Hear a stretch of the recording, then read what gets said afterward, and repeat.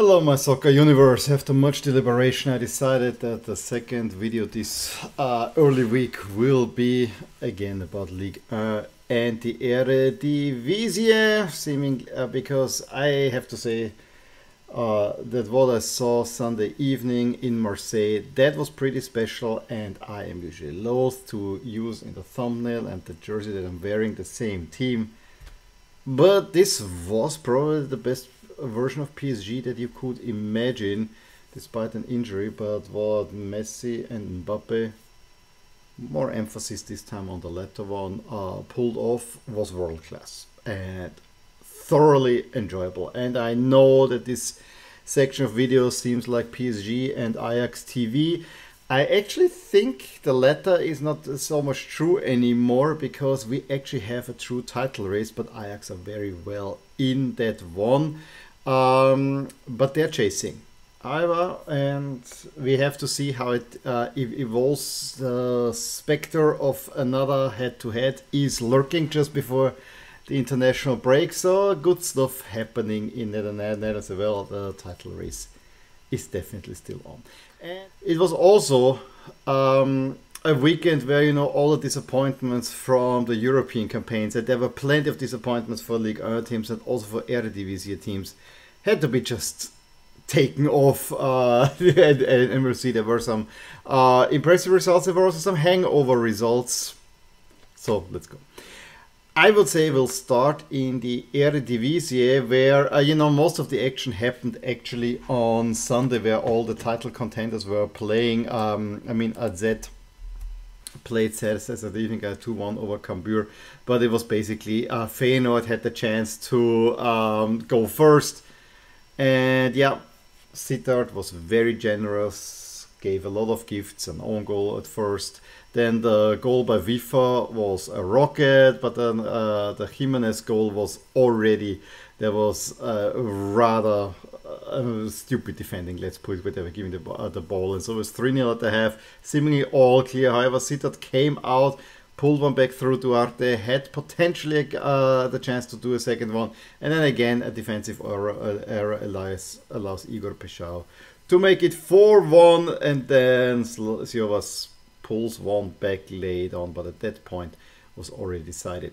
Uh, from my perspective, very important is that Trauner, after his operation, made a comeback. And I would very much see a Lask player, former Lask player, lift the Eredivisie title. Uh, so I think while I'm typically more Ajax this season in the Eredivisie, I really would like Feyenoord to win that one, just to change it up a little bit.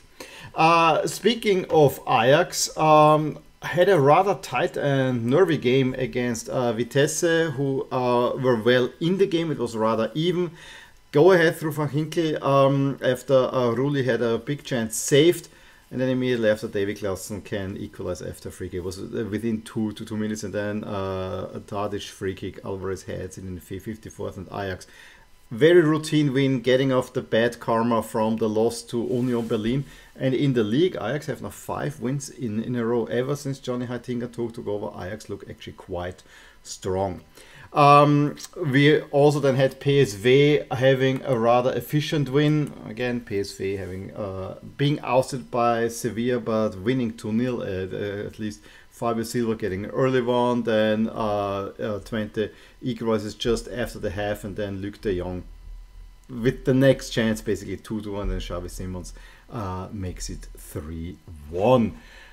And thus we have in the Eredivisie the standings. We, as I said, it's very much still a two-way race uh, because AZ got ousted more or less by Feyenoord. Yes, you cannot really allow them back in, but five points seems to be plenty enough.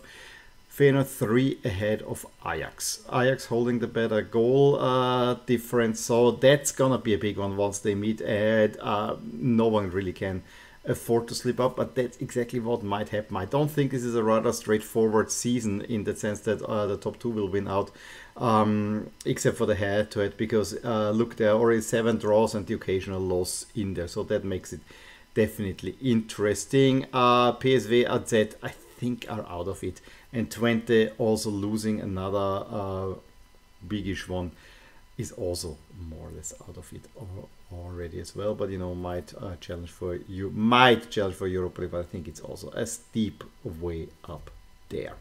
Um, same thing from the expected standings. I mean, the top five are the top five. It's pretty much set in stone. It goes even further down. I think we can even say that for the top seven. Pretty much set in stone what's happening in the Eredivisie. Uh, we have also some cup action coming up this week. Um, with Heerenveen against Feyenoord, probably the most standard tie. As I said in the previous week, it's a very even, a very nice draw that all the three big ones were self-separated. And the fourth big team in there in Utrecht, according to the current standings, are also self-separated. So there's a good chance to have a really good semi-final. I give you the next two rounds, and then the week after we have Ajax against Feyenoord. So this is kind of all prelude to madness. If you like Feyenoord face Groningen, who are down there. Uh, where Ajax have to play against Nijmegen, where they not too long ago played a draw. Uh, Vitesse against AZ uh, is the probably the standout fixture on that match day and then match day 25. Let's do uh, Feyenoord against Volendam and Heerenveen against Ajax. Uh, potential trap game, not really to be honest. Uh, and yeah, AZ will also pick bigger points against Groningen uh, potentially. Moving over to League uh, we had early in uh, in the on the weekend Lille beating Brest 2-1. Uh, we'll see Brest is now going into the relegation zone and uh, Lyon get a rare win at lowly Angers who are also uh, down there. Lens is also kind of falling away. Remember they were right up there in the title chase, have been uh, really uh, falling uh, as of late with a rather bad string of results. I think they only in the last five games only one win, two losses, two draws. So losses miracle is coming a little bit to, an end with Detroit Montpellier. Uh, Auxerre surprise win at Lorient, who have been flying high. Um, Strasbourg Clermont 1 1 doesn't help either one. Then we had the Breton Derby, two teams that got eliminated uh, in the midweek. Uh, Doku decides that one with a 1 0 um, then Stade Reims beat Toulouse 3 0, which is uh, remarkable for multiple uh, um, reasons. Stade Reims having had a really good, good run, still largely unbeaten ever since the new coach took over. But also, Toulouse has been uh, one of the most free scoring teams in all of Europe with 41 goals. However, they've conceded 45, so it, go, it goes both ways. This time they are not scoring. So uh, that I think was uh, remarkable. The goals came early in the fourth and the seventh, and the third one threw up through Abdelhamid in the 68th. Monaco continued the hangover by the elimination through Leverkusen, losing at home 3 0 to Nice, and especially the way that the first two goals, both got by Moffi, came. It was both deep balls from uh, and uh, Thuram not the one playing for uh, Gladbach, but uh, his, his younger brother, Lilian Thuram, father sitting, of course, in the stands. Uh, long ball, is running a straight goal, and uh, Konko converts, and he assists Thuram in the fourth for the third for making a third one, which was a, wonderful shot. And that, that was the game. I mean, there was just um, some changes afterwards, but uh, Nice were just super efficient, playing also a very adventurous jersey, the purple-orange ones which yeah uh, was interesting. But let's be honest, it was all about Le Classique. And while the atmosphere, as usual, was great, great choreography by the Marseille Ultras, has to also be said. But then it was all PSG. And I don't even say it was all PSG because it was all two players, the two players, Mbappe and Messi, who combined crazily. Now, uh, the one the one downer of this one is that Presnel Kimpembe had to come off and he's out at least for the rest of the season. Danilo Pereira um, came on for him. However, it didn't matter much. I mean, the game, it was kind of you know, uh, feeling and, and, and so on. And with the first real action, Messi finds Mbappe, who makes it 1 0 in 25th. A little bit later, uh, Mbappe assists Messi who just has to put it into the empty net. Uh, two really well played goals. Messi should have added a second one uh, just a little bit later because uh, he was so free and just put it over the bar.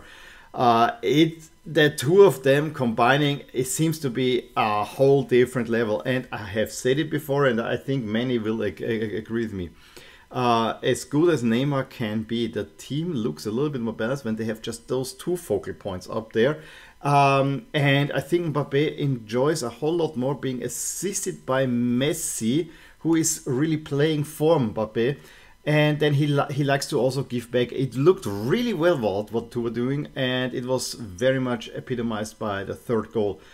Mbappe has the ball, gives it to Messi, who lobs it over the defense, only for Mbappe to volley it home. 55th, fifth minute. It's 3 0. It's all done. There were a few chances for Marseille, but Donnarumma, who had, I think, birthday, uh, had to save that one. But overall, it was a rather impressive win. And I said it last week, this late Messi goal against Lille, where they really came, came back, this could have reinvigorated uh, PSG. And Mbappe being back is also gives PSG a completely different dimension. Bayern, watch out for now. I would I would say I think that the um, construction of PSG per se is not that great, but if those two have that freedom and find those spaces, uh, it's really it will be really really hard to stop them. That major result means, of course, that uh, PSG are now very much in control of their own destiny. It's now eight points, and I think we can say that this probably was the title because OM needed the win to get back in, in the title chase. Uh, Monaco also falling away.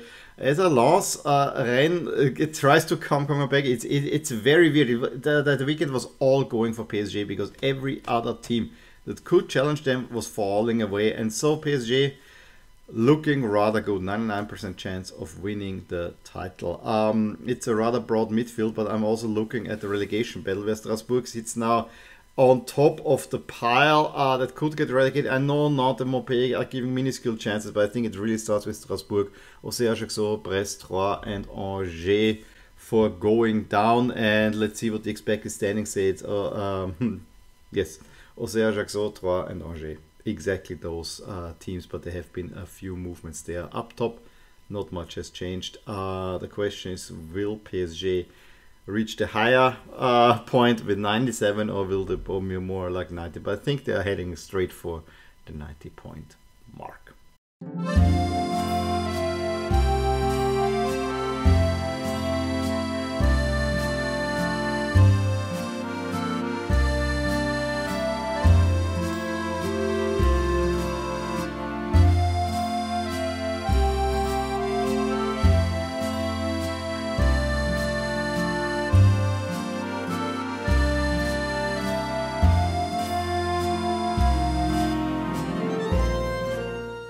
yeah, it was a shorter video, but you know, with only two rounds to talk to talk about that's uh, about it. Uh, please let me know if you want to add anything to uh, what I've talked about in this video especially if you know a little bit more about these two leagues give me a thumbs up if you enjoyed this video. Subscribe to my channel. See more. Talk to you soon. Bye. Hey there, I really hope you enjoyed this video. And if you did, here are some videos and playlists that you might enjoy too. Also, please consider subscribing to my channel and hitting the little bell icon so you get notified whenever something happens in my soccer universe. And with that, have a wonderful day. Bye!